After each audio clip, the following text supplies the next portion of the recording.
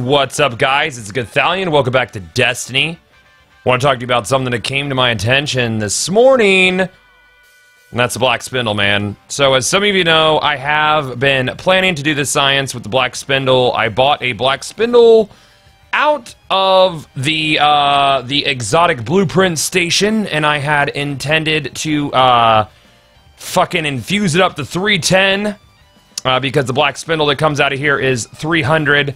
And uh, it turns out that all black spindles, regardless of the fact that you bought them out of the exotic blueprint station or you got them naturally, will be going down to 290 power. This is via Cozmo on Twitter, and this is confirmed through him. So, if you are someone who is planning on keeping your black spindle, if you if you actually infused a black spindle from this station up to 310 like I did, thinking that maybe, maybe I will beat this system. I have some bad news for you. You are not going to beat the system, supposedly via Cozmo. I am hoping to God that he's got some bad information because I got my 300 black spindle.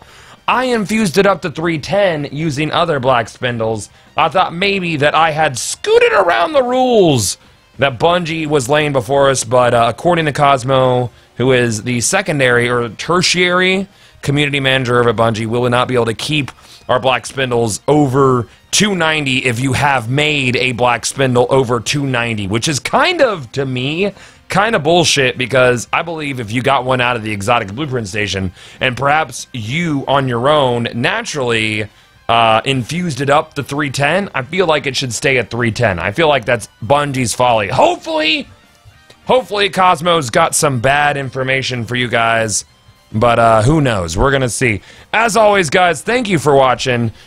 Don't forget to rate, comment, subscribe, and I will see y'all back inside of the Taken King. Peace!